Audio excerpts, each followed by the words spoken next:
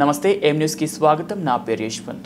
కోనసీమ ముద్దుబిడ్డ మాజీ లోక్సభ స్పీకర్ దివంగత జీఎంజీ బాలయోగి అంచెలంచెలుగా ఎదిగిన మహోన్నత నేతని ఆయన మన మధ్య లేకపోయినా బాలయోగి మన రాష్ట్రానికి చేసిన సేవలు వెలకట్టలేనివని బాలయోగి వర్ధంతి పురస్కరించుకొని మాజీ ముఖ్యమంత్రి నారా చంద్రబాబు నాయుడు బాలయోగి చిత్రపటానికి పూలమాలలు వేసి ఘనంగా నివాళులర్పించారు. అందరికీ నమస్కారాలు. జిఎంసి బాలయోగ్ గారు కోనసీమలో పుట్టి ఒక లాయర్గా ప్రాక్టీస్ చేస్తూ తర్వాత రాజకీయ ప్రవేశం చేసి జిల్లా పరిషత్ చైర్మన్గా విద్యామంత్రిగా తర్వాత ఎంపీగా ఎంపీ కావడం అక్కడి నుంచి లోకసభ స్పీకర్ కావడం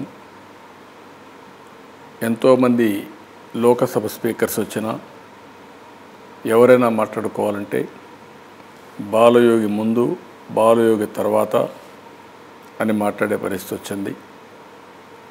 ఆ స్థానానికి ఒక ప్రత్యేక గుర్తింపు తీసుకొచ్చిన వ్యక్తి జిఎంసి బాలయోగి గారు. ఆయన్ను చాలా నాతో సన్నిహితంగా ఉండేవారు.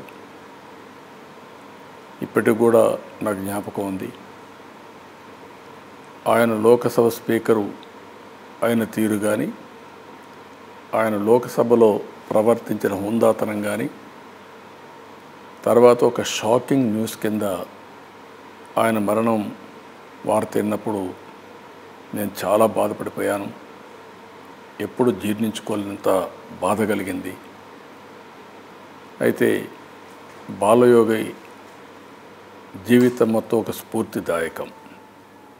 ఎల్లప్పుడూ కూడా ఒక దళిత కుటుంబంలో పుట్టిన వ్యక్తి బడుగు బలహీన వర్గాల కోసరం దళితుల కోసరం అందరితో కలిసి ఎనలేని సేవలు అందించారు తెలుగు నేలపై నుండే ఆయనకు ప్రేమ మాతృభాష పైన అపారమైనటువంటి ప్రేమ అదేవిధంగా పుట్టిన స్థా స్థానానికి పుట్టిన ప్రాంతానికి న్యాయం చేయాలని అనేక విధాలుగా ముందుకు పోయారు.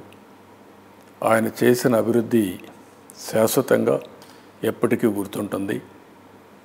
నాకైతే వ్యక్తిగతంగా బాలయోగి లే- లేని లోటు ఇప్పుడు కూడా కనిపిస్తూ ఉంది. ఒక అత్యంత ఆప్తుడు ఒక మిత్రుడు ఒక సోదర సమానమైన వ్యక్తి ఈరోజు లేకుండా పోవడం చాలా బాధేస్తుంది.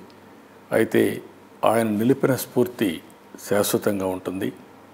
అందుకే ఈరోజు ఆయనకు ఘనమైనటువంటి నివాళులు అర్పిస్తూ బాలయోగి జీవితం ప్రతి ఒక్కరికి ఆదర్శప్రాయం. ఏ ఆలోచనలో అయితే ఆయన పనిచేశాడో ఏ స్ఫూర్తినైతే మన మధ్య వదిలిపెట్టాడో ఆ స్ఫూర్తితో మనందరం కూడా ముందుకు పోవాల్సిన అవసరం ఉంది. దీనికి అంకితమైన భావంతో అందరూ పనిచేయాల్సిందిగా మరొక్కసారి కోరుకుంటూ ఆయన భౌతికంగా మన దగ్గర లేకపోయినా ఆయన ఎప్పుడూ కూడా స్ఫూర్తిదాయకంగా మన మధ్యలోనే ఉన్నాడు. ఆ స్ఫూర్తి ఎప్పుడు ఉంటుంది.